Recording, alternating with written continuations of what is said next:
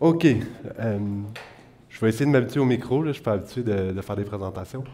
Euh, dans le fond, j'aimerais savoir qui utilise Python pour faire du machine learning ou de la data science qui est ici. OK. Dans le fond, cette présentation-là est venue du fait qu'on essaie de recruter en ce moment des data scientists juniors. Puis en faisant passer des tests à des étudiants euh, qui finissaient leur bac ou débutaient leur maîtrise, on s'est rendu compte qu'il y avait comme un gap entre ce que les gens connaissaient au niveau théorique puis comment ils appliquaient leur code pour résoudre des problèmes de, machine learning. Fait que je me suis dit, ben, on a déjà un test déjà tout fait. Ils cherchent des présentateurs à Montréal Python, alors ben, c'est une bonne opportunité pour euh, vous, faire connaître euh, notre compagnie. Fait que nous, on, on est des petits nouveaux. ML+, on, on- on se spécialise dans le fond dans l'application de machine learning euh, pour dé- développer des solutions concrètes en entreprise. Fait qu'on fait pas euh, de l'optimisation de gradient ou de la recherche avancée euh, comme Element AI ou le Mila, par exemple. Nous, on j- vraiment les algorithmes qui ont été développés, puis on les applique dans des solutions concrètes. Fait que, par exemple, je veux automatiser ma détection de fraude. On va te faire un algorithme, on peut te faire une interface utilisateur. Je veux automatiser la pousse de mes légumes ou n'importe quoi. Ça peut être euh, tous les domaines. Fait que, euh, comme je viens juste de le dire, on travaille dans tout. Euh, que ce soit en médical, il y a plusieurs de nos partenaires qui sont, qui sont des médecins. Donc, donc, on fait beaucoup de médical, mais plus sur le diagnostic que l'image. Mais on est intéressé par l'image, comme tout bon data scientist. Donc, c'est ça. Fait que mon objectif ici, c'est pas de, de- faire un show. Là. Dans le fond, il y a plusieurs des questions qui sont faciles. Euh, ce, que j'aimerais voir, c'est qu'à la fin de la présentation, que vous me disiez, euh, sur les nombres de questions, que je pense que j'en ai une dizaine, euh, est-ce que vous auriez toutes eu les questions? Ça va-être vraiment facile pour vous? Est-ce que c'est est-ce que c'est un jeu d'enfant ou il y a des questions que c'est des modules que vous n'utilisez pas parce que ben, peut-être que vous ne faites pas de, machine learning, les mêmes modules qu'on utilise en, machine learning qu'en développement web ou en d'autres choses. Puis c'est sûr que mon objectif, c'est toujours de stimuler euh, la communauté à se diriger vers une application concrète du machine learning. Puis il y a plein de choses vraiment le fun qui sont pas du texte ou pas de l'image, euh, qui, peuvent être automatisées, puis c'est des beaux défis intellectuels. Euh, moi, personnellement, je viens d'un parcours multidisciplinaire, fait que je suis pas un programmeur, je n'ai pas étudié en, en computer science, fait que j'ai essayé de respecter euh, la nomenclature, euh, puis de, faire un, bon programmeur de moi, puis de respecter le PEP8, mais ça se peut que, fois, si vous voyez des choses qui ne sont pas correctes, j'apprends toujours, vous pouvez me le dire. Donc, euh, ma première question est vraiment simple, c'est fais-moi un data frame. Tu sais, un data frame, c'est juste une matrice indexée. Puis la manière la plus facile de faire ça, ben, dans le fond, je sais pas si on voit bien. C'est comme ça. On fait un dictionnaire. Tu le mets dans, dans un- un- une fonction euh, de pandas, puis automatiquement ça va te faire un data frame. Puis ça prend. tu Faut pas oublier. J'ai pas dit, là, mais il y a 45 minutes pour faire le, test, la personne qui passe l'entrevue. Fait que tu sais, il faut que ça aille vite, puis tu trouves une manière comme le bout de tes doigts, mais tu as le droit d'utiliser Google si tu veux pour faire la question. Mais tu c'est sûr que si tu utilises Google pour faire ça, puis tu me dis que tu es un expert de, Python dans ton CV, ben, je vais me poser des questions. tu. Puis comme on voit sur 10 personnes, ben, il y a 7 personnes sur 10 qui l'ont eu, puis il y en a 3 qui sont des étudiants de fin de bac en computer science ou de maîtrise qui ne l'ont pas eu. Fait que ça, ça me faisait un peu peur. Je disais, OK, c'est, bon, mais fait que, on continue le test pareil, puis ils peuvent skipper les questions. Puis, je suis là pour les accompagner. Après ça, c'est, euh, je voulais aborder un autre module qu'on utilise souvent qui est NumPy, qui est un, comme, très utile pour faire des opérations matricielles, euh, des opérations mathématiques, euh, très utilisé euh, pour tous les algorithmes de machine learning parce que c'est plus rapide que, par exemple, un, data frame. Euh, donc, ça, c'est juste de me faire une, matrice 3 par 3, puis encore, c'est une ligne de code, c'est facile à faire. Après, ben, je vais dans quelque chose qui est vraiment très propre à Python, donc les dictionnaires. Donc, je veux que la personne me fasse deux dictionnaires, puis les imbrique un dans l'autre. Ce qui devrait être encore une chose qui, devrait être maîtrisée par quelqu'un qui, qui, commence à coder Python dans un objec- objectif de machine learning en dans une semaine ou deux semaines. Il devrait être capable de faire ça. Euh, puis là, on voit que c'est très difficile. Les, gens, ils sont pas habitués de manipuler des dictionnaires. Ils, vont, souvent aller directement vers un data frame, fait qu'ils vont faire pd.read CSV, puis ils vont avoir un CSV qui est déjà tout prêt, puis ils ne vont, pas, vont pas passer par ça. C'est rare que les gens vont manipuler aussi des JSON, puis dès que tu commences à manipuler des JSON, ben là, ça devient facile les dictionnaires, c'est la même chose. Euh, mais ça, ça m'a quand même vraiment surpris que la difficulté que les gens avaient, puis ça, j'ai beaucoup travaillé avec mes stagiaires de, les rendre à l'aise avec les, dictionnaires parce que ça peut sauver beaucoup de temps euh, en étant à l'aise avec ça. Fait que les deux, les questions, la première, c'est ça, imbriquer, puis après ça, c'est juste d'utiliser des, fonctions propres à, Pandas pour euh, faire des transformations rapides qui peuvent être utiles. Puis c'est des joueurs de tennis. J'ai pas les bons, c'est pas les bonnes, les bons numéros, fait que appelez pas. Après, euh, il, y a des, jeux de données euh, dans Python qu'on peut utiliser comme Boston, Iris, qui sont comme euh, pour se pratiquer. On pourrait aller sur Kaggle aussi ou s'amuser autrement. Mais là, je prends un, jeu de données qui est le Boston, puis je fais juste passer à travers quelques étapes qu'on fait tout le temps, tout le temps, tout le temps. Un data scientist qui fait de l'exploration de données va tout le temps faire des opérations de visualisation, euh, il va regarder si c'est des nuls, il va regarder si les jeux de données va regarder, il va regarder des choses qu'il va faire à chaque, chaque, chaque fois, peu importe si c'est une classification, de régression, euh, peu importe euh, le problème. La première chose que je lui demande, c'est de me faire une. de, montrer le, top du data frame puis de me marquer les, types. Là, je pense que j'ai oublié de, de, mettre les types, mais en tout cas, d-type, ce serait la fonction pour faire les types. puis après, je demande de me montrer le nombre de valeurs nulles par colonne de me dropper, de, me laisser, je ne peux dire en français, c'est de, supprimer trois colonnes euh, du, data frame, euh, puis de me diviser euh, chaque colonne par la moyenne de la colonne. Puis là, ça, il y a plus qu'une bonne réponse pour faire cette opération-là, mais je donne une solution. Donc là, je load, en haut, je l'ai fait pour eux. Fait que j'ai le, j'ai chargé le, jeu de données. Le mettre en frame, ben, on peut juste simplement donner la, donnée puis nommer les colonnes. Après, montrer la tête, c'est .head. On pourrait faire .tail pour voir la, fin. Après ça, comme je l'ai dit, j'ai oublié de mettre euh, .dtype, fait que D-I-T-Y-P-E-S. Euh, on verrait le type des colonnes. Après, pour voir la somme, euh, il n'y en a pas, parce que c'est un jeu de données qui est fait pour se pratiquer, fait que je pense qu'il y remplissent déjà on voit qu'il n'y a pas de nul. Puis pour dropper, c'est toujours mieux d'utiliser in place parce que sinon, euh, on, on, double l'information sur la mémoire. Donc in place, ça, permet de, venir modifier l'objet. Donc, euh, puis apply, moi j'ai utilisé apply juste pour mettre apply parce que j'aime mettre ça des, apply partout, mais, on pourrait juste faire euh, Boston divisé par boston.me. Fait que, fait que. Après, je rentre dans un sujet qui, devrait encore être maîtrisé par quelqu'un qui fait depuis trois, peut-être à six mois du, Python pour un objectif de data, science, de data science. Fait que là, c'est juste de faire une fonction, faire des classes, euh, commencer à, travailler avec l'orienté objet. Euh, donc, c'est peut-être un petit peu plus avancé, mais ça, devrait être maîtrisé par quelqu'un qui fait ça depuis trois à six mois, d'après moi, mais d'après mon expérience.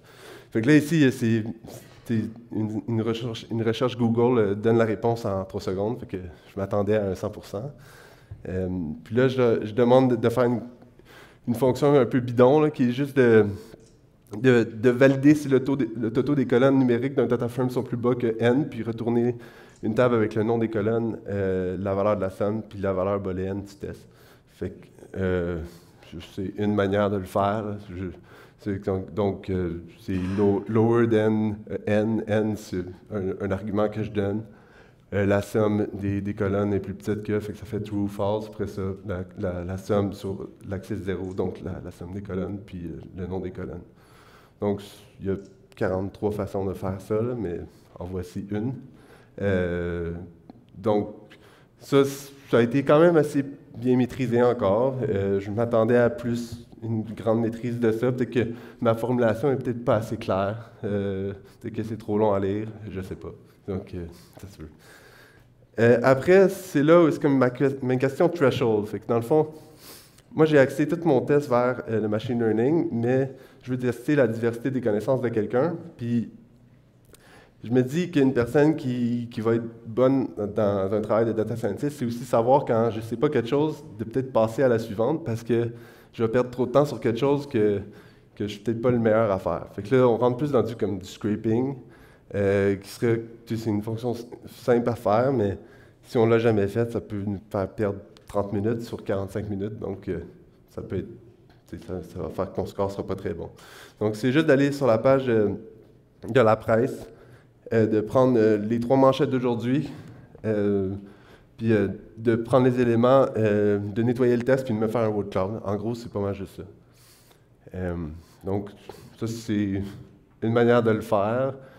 Euh, tu fais une classe, tu l'inities avec des, arguments. Après, tu vas chercher le, dans la page euh, l'ID manchette, son, son, numéro, son nommé manchette dans la page. c'est, pour ça que j'ai utilisé ça.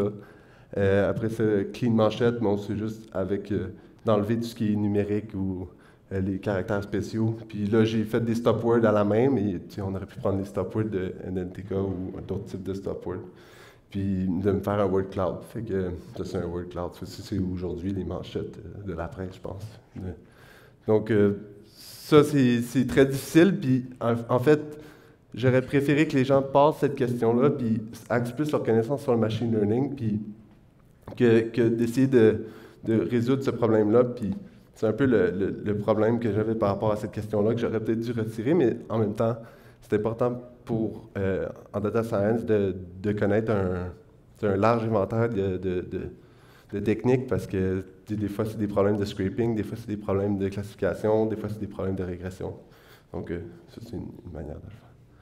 Après, pour ceux qui ne font pas du machine learning, il y a comme deux grandes branches. Il y a comme le supervisé, où euh, on a une classe ou une valeur continue qu'on veut prédire, puis le non supervisé, où on n'en a pas, puis on veut venir catégoriser les groupes dedans des, des groupes inconnus. Euh, fait que le supervisé, c'est, dans notre entreprise, c'est 80% des problèmes qu'on rencontre, euh, souvent de la classification. Euh, donc, c'est comme vraiment important d'être familier avec au moins les techniques à faire. Donc, il faut toujours comme explorer les données. Ça, pour un junior, c'est, ça va être 75% de son travail, ça va être vraiment explorer les données. Après, les bons juniors vont avoir un 25% peut-être de modélisation, puis de venir euh, préparer le terrain pour un senior, que lui va venir euh, vraiment mettre ça en production puis automatiser tous les processus. Fait que c'est un peu ça que ça fait un, junior, en tout cas chez nous. Puis je m'attends que la personne soit très bonne dans la question 1, ou faire une matrice de corrélation, par exemple, euh, faire des visualisations simples. Après, la personne aurait peut-être plus de difficultés à préparer les données pour le machine learning, mais je, m'attends qu'elle connaisse la théorie puis qu'elle comprenne que tu ne peux pas juste appliquer un, algorithme sur la totalité de ton dataset puis sans le, normaliser, par exemple. Euh, après, de, connaître ces familles d'algorithmes, c'est un bonus. Euh, un junior, c'est peut-être un petit peu demandé euh, de, savoir c'est quoi la différence entre un, un, algorithme de boosting ou un algorithme de, distance. Je, pourrais comprendre que la personne ne, ne sache pas ça.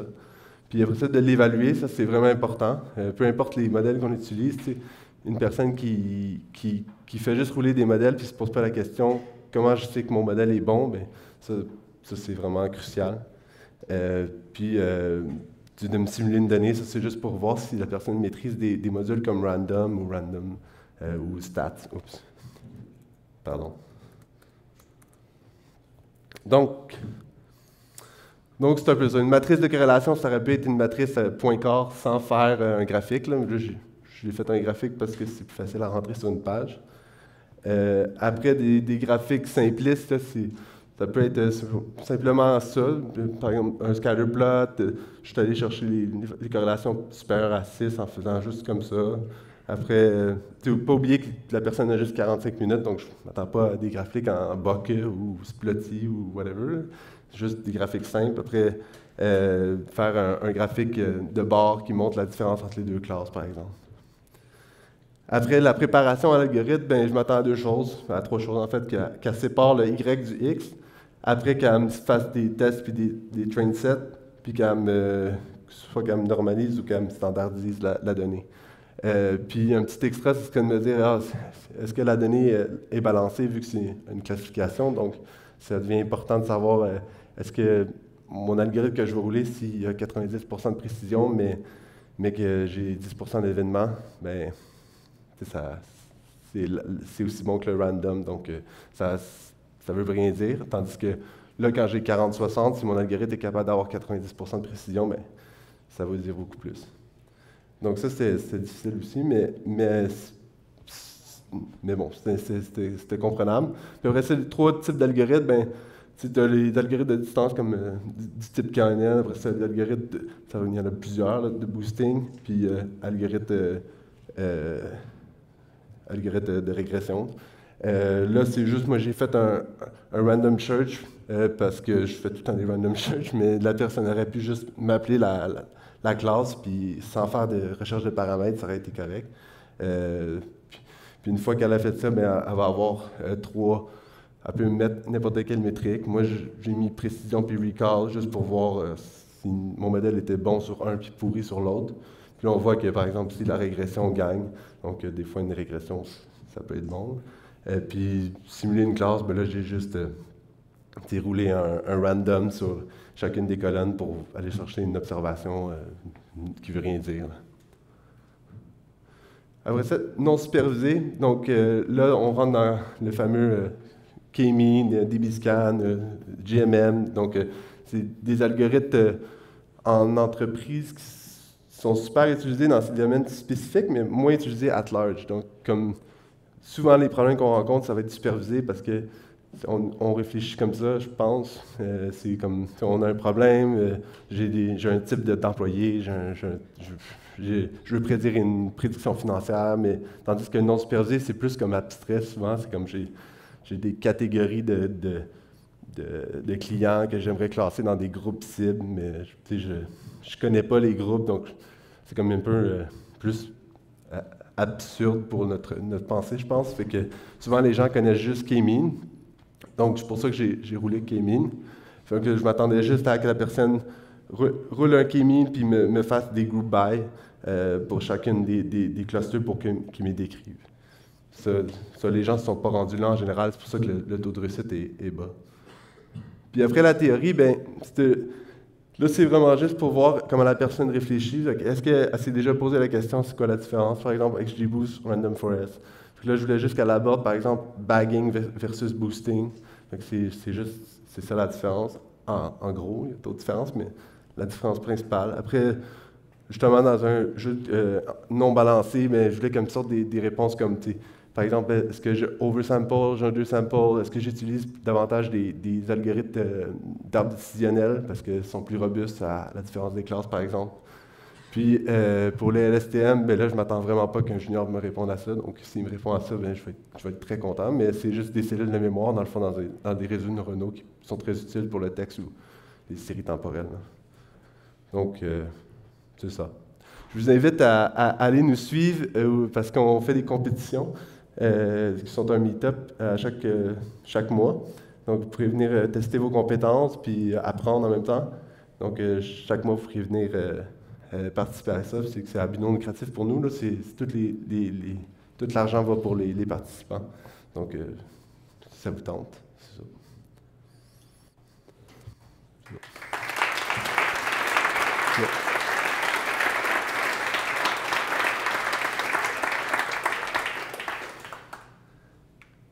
Je parle peut-être vite, là, fait qu'il y a peut-être des questions, je sais pas.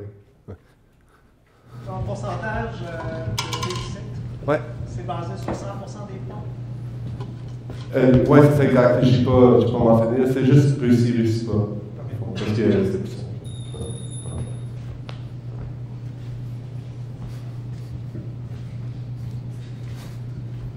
Est-ce que, est que des gens dans la salle auraient eu des bonnes. Ah, oui, vas-y. Comment t'expliques les, les taux de réussite vraiment bas? Est-ce que c'est parce que vous n'avez pas encore réussi à avoir des candidats qui, qui avec votre poste ou plus que tu as l'impression que les questions étaient peut-être trop dures ou ouais. Ce que, ce que j'espère, c'est qu'on n'a pas eu les bons candidats pour nos boss parce que, parce que je m'attendais à, un peu mieux par rapport aux questions que j'ai posées. Euh, par contre, j'ai vraiment l'impression qu'il y, a une différence entre le. Je pense qu'il y a un effet pervers des, des, formations en ligne. Fait que, que les gens, ils, ils vont suivre une formation. Ça peut être, ça peut être bon, mais si tu suis la formation qui te donne tout, tout, cru dans le bec, puis après ça, à chaque fois que tu vas lire un livre ou passer à travers une nouvelle formation, tu vas toujours assumer que tu connais cette information-là, tu ne vas jamais comme revenir dessus. en tout cas, c'est comme une impression que, j'ai, parce que souvent, je rencontre des gens qui, qui, qui me disent qu'ils sont super bons, ils savent, mais ils ne savent pas appliquer. En tout cas, c'est comme, je sais pas, ce serait ma réponse. je.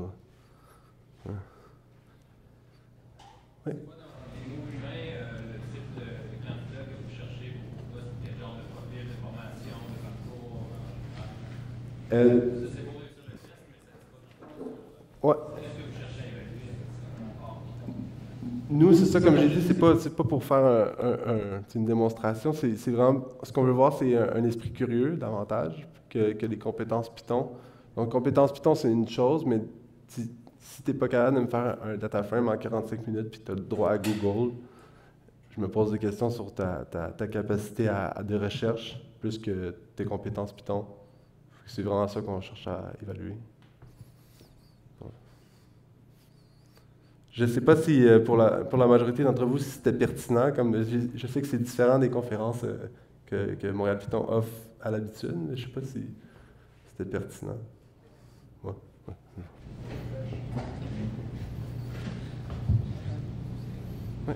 Euh, ben, en fait, c'est juste savoir la comparaison chez.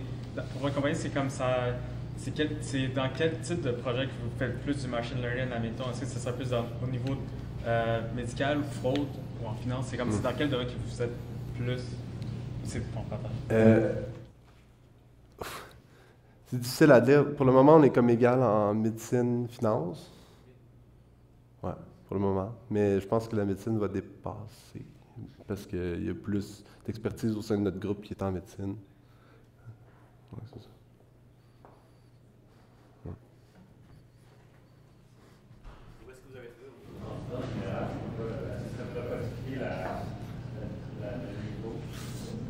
Euh, on a posté dans les universités, en fait, surtout.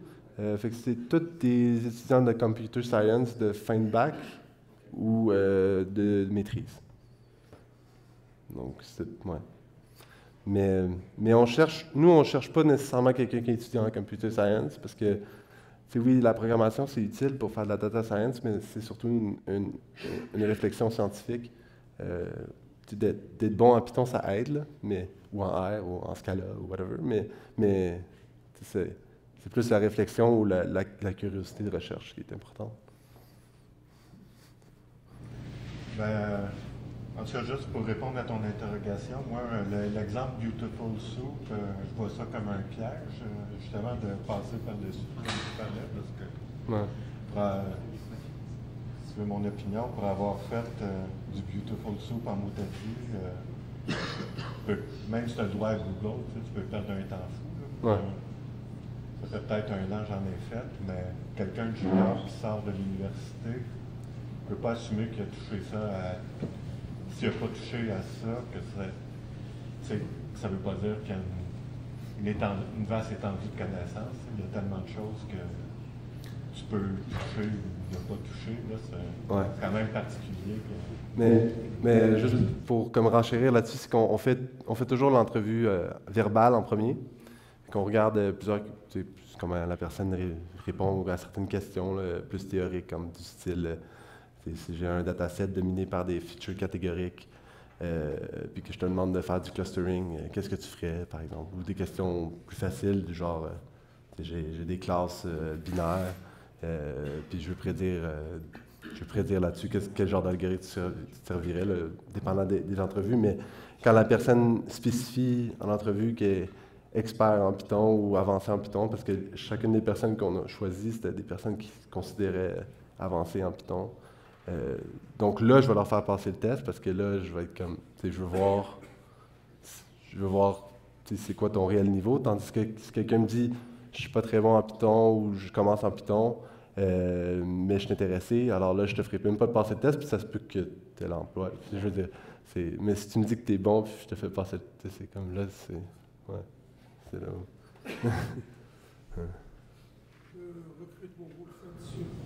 sur mandat Euh, nous, en ce moment, on cherche, ben, on cherche surtout quelqu'un qui va être là euh, temps plein pour un junior. Donc, ça va être, juste sur profil. Ouais, ouais.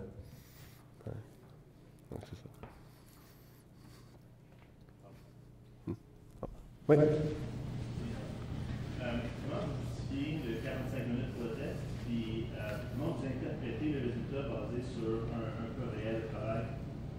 Euh, ouais, j'ai mis les, taux de réussite que pas dû, c'était juste pour donner une idée du, niveau de. C'était juste une information additionnelle. Euh, mais tu sais, j'en prends pas vraiment en considération du taux euh, de réussite. Je regarde plus le cheminement de la personne à travers le test. Que si la personne s'est arrêtée rapidement puis elle, avait juste fermé l'ordi, ben, c'est une chose. Ou si la personne a, vraiment cherché puis je vois 43 onglets ouverts, c'est une autre chose. Après ça, ça c'est vraiment important. Après, oui, j'évalue les points. ça prend comme ça prend un certain aspect, les, points. par exemple, euh, j'ai mis des points. fait que, j'ai réfléchi en fonction de l'importance de, des connaissances pour le travail qu'on a à faire. Euh, puis, c'était quoi? Ah ouais, le 45, minutes, le 45 minutes, dans le fond, c'est juste parce que ben, c'est plus longtemps que, que ça m'a pris à faire. Dans le fond, c'est juste pour ça. Ouais. C'est ça. Ouais.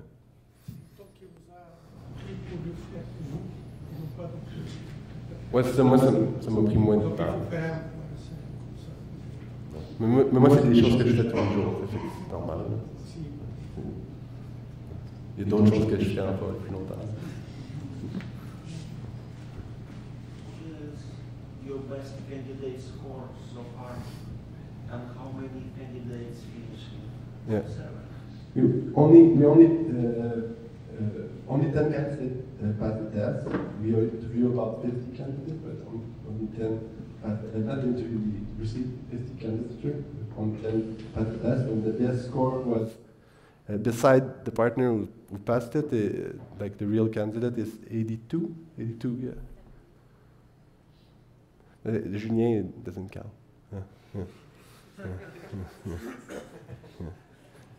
And 82, and he finished the old test. And he, he's a junior, and he uh, only has six months of experience. Very happy. Yeah. Oui.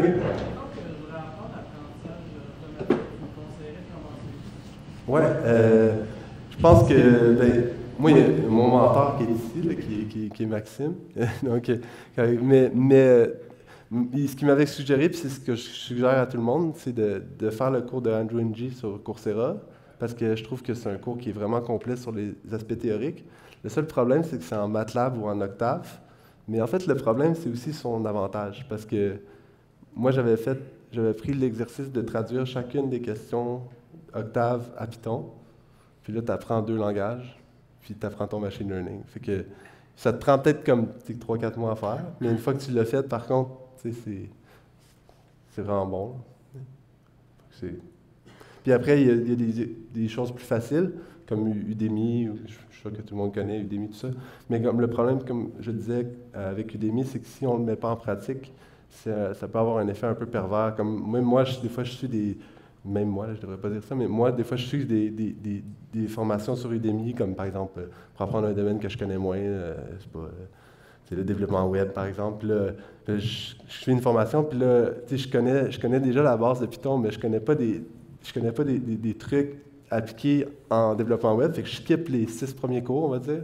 Puis là, j'arrive au septième cours, puis là, ah, j'ai de la misère parce qu'il y a des trucs que je savais pas avant, mais là, je veux pas revenir parce que je le sais. Puis là, c'est comme, ce que ça... Fait qu'Udemy, ça peut être dangereux. Tandis que là, de vraiment faire l'exercice de, de traduire, je vois. C'est Andrew Ng, c'est le fondateur de, de Google crois. Andrew Ng. A-N-D-R-E-W. Puis Ng. Sinon, il y a des livres. Les livres, c'est bon.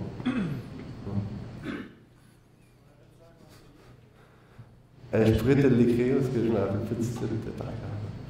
Tu veux quelque chose de.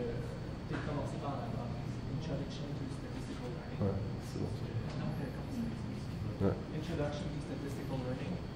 Puis une version un petit peu plus avancée, un petit peu plus mathématique, c'est Elements of Statistical Learning. Ouais, les mêmes auteurs. Ont fait deux versions différentes. La première plus pour les gens business, la deuxième plus. Fait que euh, statistical learning, c'est plus des introduction. Sinon, je te, suggère de venir à notre meet-up le 26 avril. tu vas pouvoir te, te pratiquer parce que c'est ouvert à tous les niveaux. Puis, puis on essaie, tu sais, comme euh, justement, on essaie de mentorer ceux qui, qui ont plus de difficultés. là. On essaie, mais. ouais. C'est bon. Merci.